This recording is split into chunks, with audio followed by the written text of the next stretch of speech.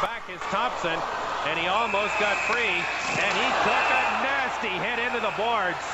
And he's going after the man who leveled him, and that is Horvath, Jason Horvath.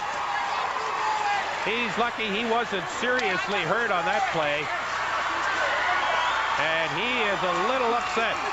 Rocky Thompson is a Golden Gloves champ in the offseason and doesn't like liberties taken with him, and he's willing to settle the score.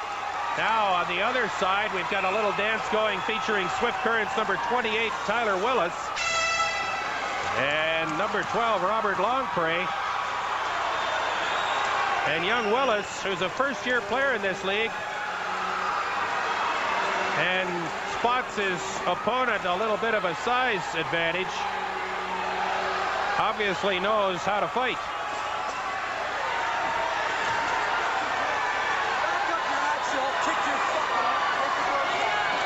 Longpre just hoping to keep him on the outside, has the reach advantage.